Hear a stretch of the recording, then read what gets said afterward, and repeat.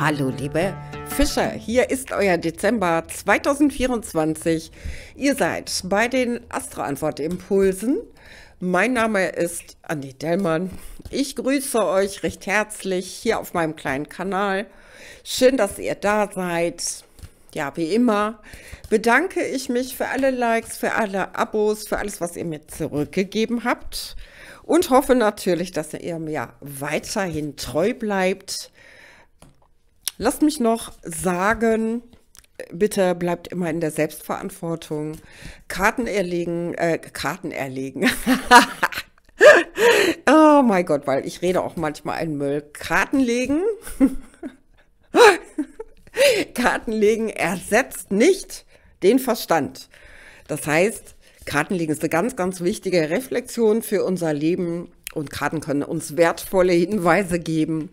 Aber das Denken ersetzt das Kartenlegen nicht. Bitte niemals vergessen. Warum ziehe ich mir immer diesen Spruch rein, weil ich hasse es selber schon, diesen Spruch immer anzubringen. Aber an den Kommentaren, an manchen Statements höre ich immer wieder raus, dass manche Leute denken oder tatsächlich denken, dass so eine Legung, die vielleicht Tausende von Leuten angucken, das kann ich ja mittlerweile schon behaupten, ähm, dann tatsächlich auf tausend Leute in vollem Umfang zutreffen kann. Das ist eine kollektive Legung.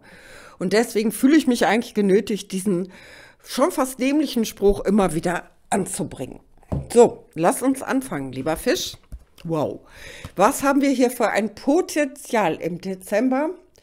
Äh, sieht nach Gefühl aus, es sieht nach Chance aus. Wir haben hier das Ass der Kelche liegen und die Asse sind immer Chancen. Das sind Möglichkeiten, die uns das Leben reicht. Es ist durchaus möglich, dass du eine sehr wichtige, emotional erfüllende Möglichkeit gereicht bekommst. Und ich sage, es, diese Möglichkeiten werden uns gereicht, aber es liegt an uns, diese Möglichkeiten wahrzunehmen und anzunehmen und sie in eine Planung, also in die zwei oder die drei zu bringen welche Chancen könnten hier kommen? Auf eine Chance auf Liebe, auf eine Verbindung, auf den Austausch von Gefühlen, auf Harmonie, aber auch im Hinblick auf Berufung in diesem Leben. Sehr, sehr schön. Lass uns direkt mal auf den, oh, oh, hier ist es aber kühl, ähm, inzwischen menschlichen Bereich schauen. Und hier haben wir den König der Schwerter liegen. Oh, ich hätte mir ja jetzt eine zweite Kelche hier gewünscht, aber wie ihr wisst, kann ich das Ganze ja nicht beeinflussen. König der Schwerter bedeutet, das ist eine Energie, die sehr im Kopf ist. Ähm, das ist jemand, der gerecht ist, jemand, der gut urteilen kann, jemand, der die Dinge abwägen kann, jemand, der auf das Machbare schaut.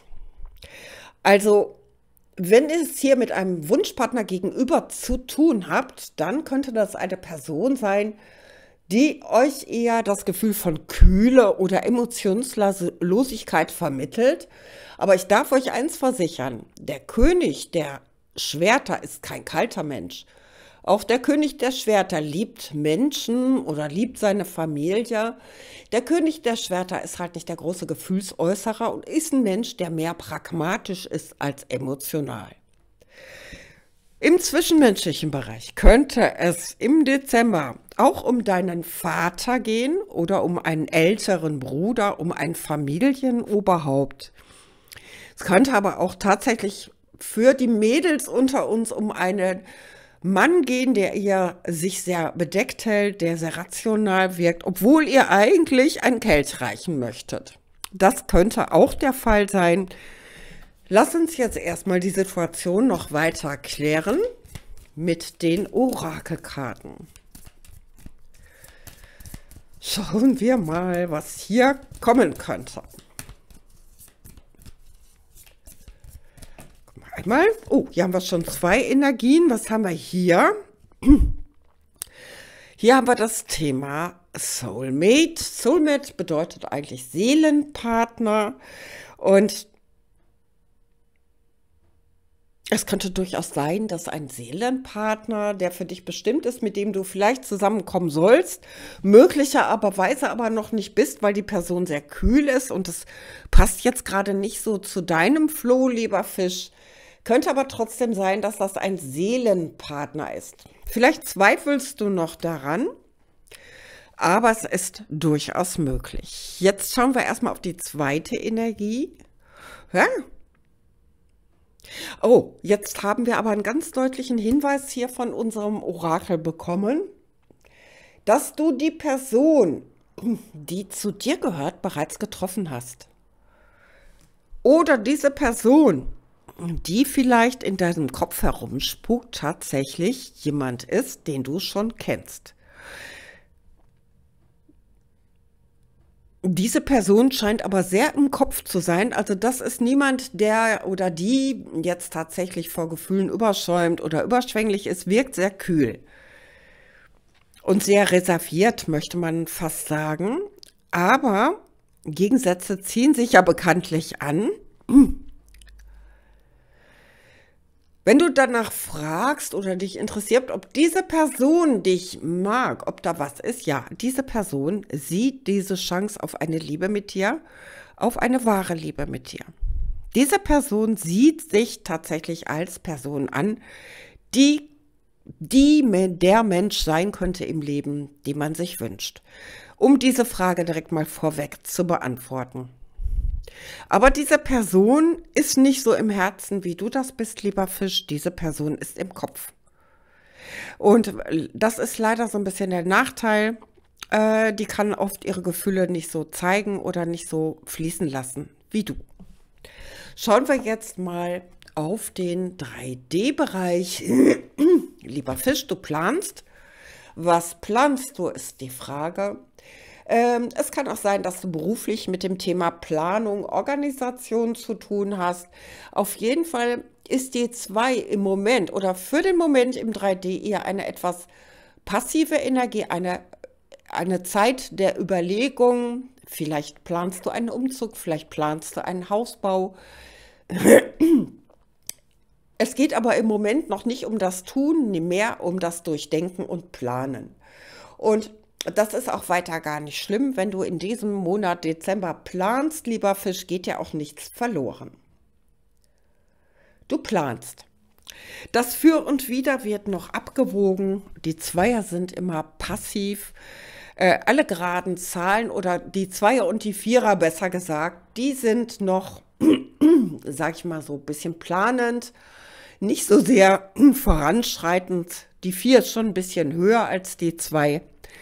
Aber wenn du zum Beispiel einen neuen Job suchst, Jobwechsel, wird das jetzt hier in diesem Dezember definitiv nicht passieren. Du wirst auch im Dezember keine großen Investitionen machen und keine neuen Projekte beginnen, also mit einem ersten Schritt, einem konkreten Schritt.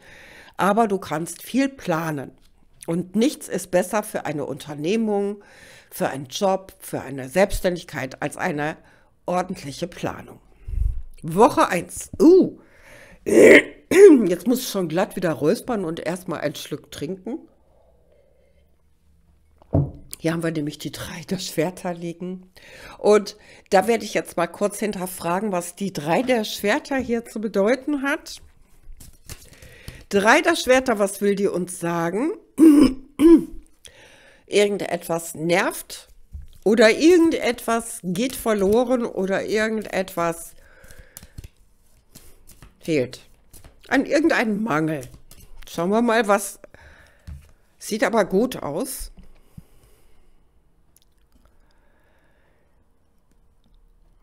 Ah ja, hier geht es nicht darum, dass etwas Schlimmes passiert, ja, liebe Zuschauerinnen, lieber Zuschauer, sondern hier geht es darum, dass du genervt bist von gewissen Verzögerungen, äh, die drei der Schwerter ist nicht immer nur der tolle Liebeskummer. Äh, die drei der Schwerter kann auch, ähm, ist eigentlich ein guter Schritt zur Heilung, sagen wir es mal so. Die drei der Schwerter ist immer die Einsicht, die mentale Einsicht, dass etwas nicht in Ordnung ist.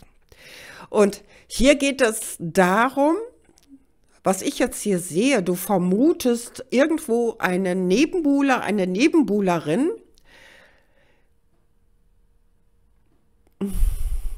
Diese Nebenbuhlerin oder dieser Nebenbuhler ist aber nicht vorhanden. Verstehst du was? Also das ist nicht real.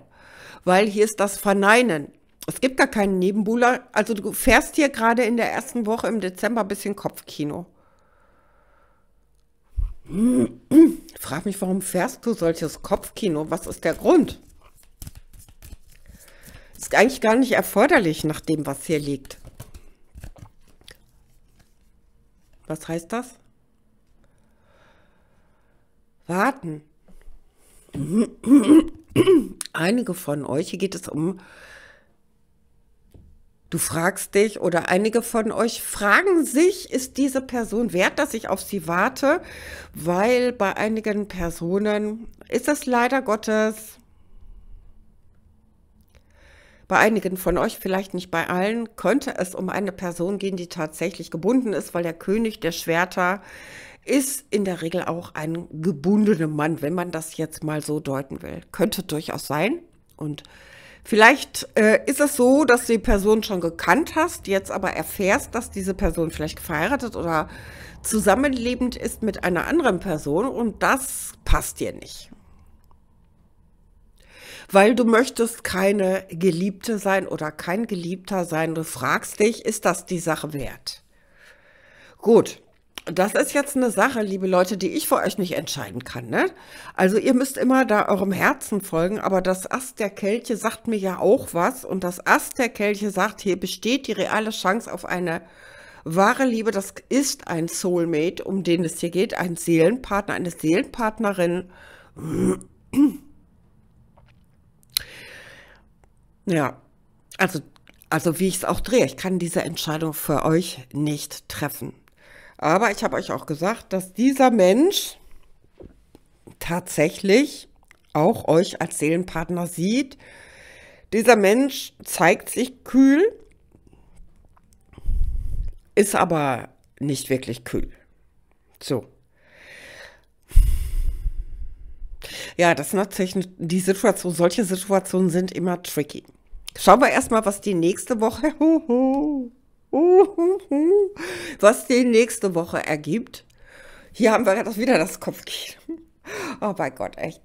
Hier haben wir leider die Neuen der Schwerter. Also, vielleicht sagt diese Person auch etwas, weil das könnte ich auch so rausspüren, weil so ein König der Schwerter, egal ob das ein Mann ist oder eine Frau, der kann manchmal Dinge sagen, gerade wenn hier so emotionale Dinge auf der Gegenseite vorhanden sind, der kann manchmal Dinge sagen, die verletzend sind. Und die Zweifel entstehen lassen, ob die Sache das wirklich wert ist. Ne? Also eins muss man über den König der Schwerter sagen. Äh, es ist nicht ganz so schlimm wie beim Ritter der Schwerter. Der kann also kommunikativ sehr, sehr unter die Gürtellinie treten. Aber auch der König der Schwerter kann das manchmal ganz gut, weil wie jeder Mensch hat der König der Schwerter auch Schattenseiten und die können manchmal sein, dass die Zunge sehr scharf ist.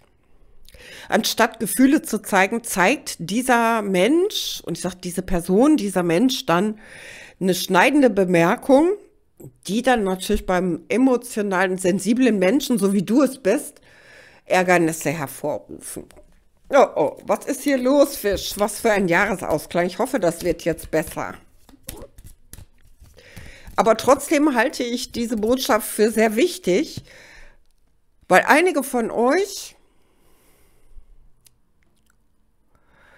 einige von euch könnten die Entscheidung treffen mit einer Person, die euch vielleicht, das kann auch die Kommunikation sein, die hier gemeint ist. Und ihr habt ordentlich Kopfkino in der zweiten Woche. Ja, warum ist das so? Weil ihr habt romantische Gefühle, ja, und dann kommt eine Person und ähm, so mit ganz extremen, ja, ich will nicht, da passiert auch nichts Schlimmes, aber das ist eben so, wenn eine Seite Emotionen bereit ist zu zeigen und die andere eben nicht, und ähm, dann können Äußerungen gemacht werden, die zu gewissen Verletzungen führen. Und ich muss jetzt ganz ehrlich sagen, ihr müsst entscheiden, welchen Weg ihr jetzt geht. Ja, Also, wenn du mich fragst, wenn ich jetzt ganz ehrlich bin, ich würde erstmal Abstand suchen, Abstand nehmen, ähm, weil wenn jemand da so gar nicht äußern kann, ähm, was jetzt eigentlich wirklich los ist, dann führt das immer wieder zu Missverständnissen. Und das finde ich dann eigentlich schade, zumal die Chance auf eine wahre Liebe hier gegeben ist. Ich rede hier von einer Chance. Wichtig ist, nicht alleine bleiben in dieser zweiten Woche. In, ähm, ganz, ganz wichtig. Lass dich da unbedingt unterstützen und hol dir objektive Meinungen zu der Sache. Ja, das hier ist Ängste, das ist Kopfkino. Das ist Kopfkino, weil das ist nicht real, ja, was da in dir vorgeht. Ja, du bastelst dann im Kopf dir, du bastelst dir etwas zurecht, weil die Liebeszeichen dieser Person noch nicht eindeutig sind. Das führt halt zu Kopfkino. Hm. Okay, ja, kann ich einfach nicht vom Tisch reden, liebe Leute. Ist tricky, die Situation im Dezember. Und wenn ihr mich fragt, ist es besser, einen Schritt zurückzutreten und erstmal abzuwarten, wie sich diese Situation tatsächlich entwickelt. Genau. Und jetzt haben wir in der dritten Woche schon wieder totale Entspannung. Sechs der Stäbe, du fährst einen Sieg ein.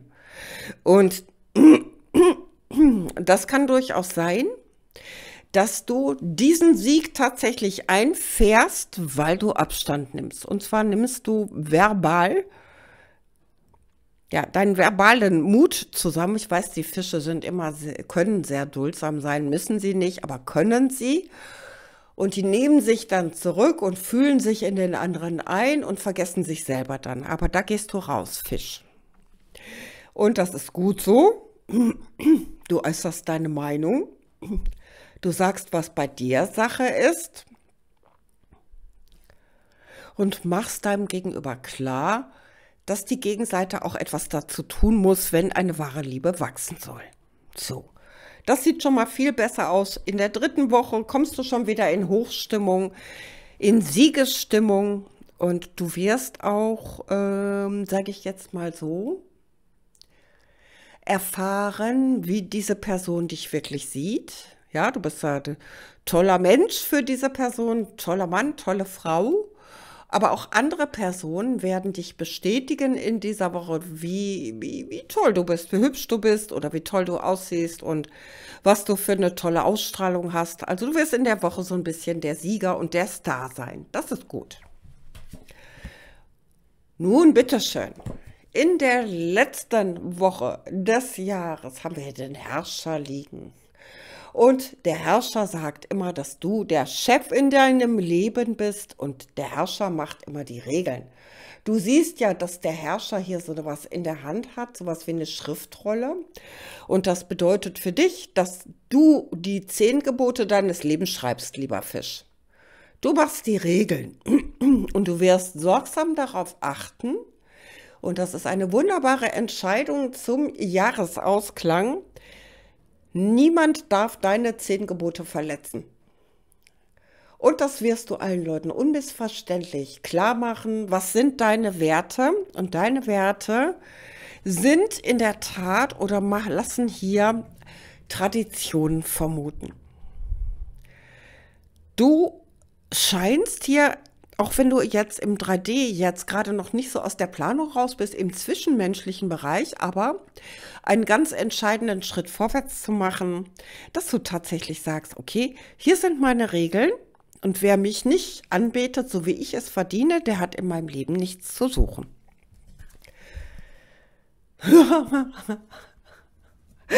Jetzt hat der König der Schwerter sein passendes Gegenstück gefunden. Guck mal, was der König der Schwerter jetzt tut. Der bittet die Königin der Schwerter um Vergebung. Jetzt haben wir hier ein Power Couple liegen. Das hier ist die Quintessenz-Energie. Jetzt muss ich schon direkt wieder räuspern. Ich habe mir das jetzt gerade so bildlich vorgestellt, aber ist egal. Hier liegt der König der Schwerter und in dem du zur Königin der Schwerter wirst mit klaren Regeln, klarem Verstand, viel Machbarkeitsgefühl, wirst du in dieser Situation siegen. Sehr, sehr schön, lieber Fisch. Das heißt, du gewinnst die Oberhand in dieser Situation. Auch wenn du dich, und ich will es dir nicht verschweigen, wahrscheinlich in den ersten beiden Wochen des Dezembers ein klein wenig ärgern wirst. Mach dir nichts draus und bleib bitte nicht in diesem Kopfkino hängen. Mach dir klar, dass das Kopfkino ist, ähm, weil hier zwei ganz unterschiedliche Strömungen am Werk sind, nämlich einmal das Element Wasser und einmal das Element Luft. Ja, und Luft und Wasser, ja, das Wasser, die Luft kann das Wasser bewegen. Äh, das sind zwei ganz, zwei elementar unterschiedliche Strömungen. Ähm, die können aber auch zusammenarbeiten. Es gibt die Chance auf eine wahre Liebe, aber du musst dich behaupten, lieber Fisch. Und das wirst du tun. Lieber Fisch, wenn dir die Legung etwas nützen konnte, gib mir ein Däumchen oder auch ein kleines Abo. Ähm, ich wünsche dir jetzt erstmal wundervolle Weihnachten. Ich wünsche dir einen wunderbaren Rutsch ins neue Jahr. Wahrscheinlich werde ich das auch so machen, dass ich auch noch eine traditionelle Silvesterlegung mache. Guck mal, was in diesem Jahr noch so auf mich zukommt. Ähm, ich wünsche dir jedenfalls nur das Beste. Bleib schön gesund und bis bald.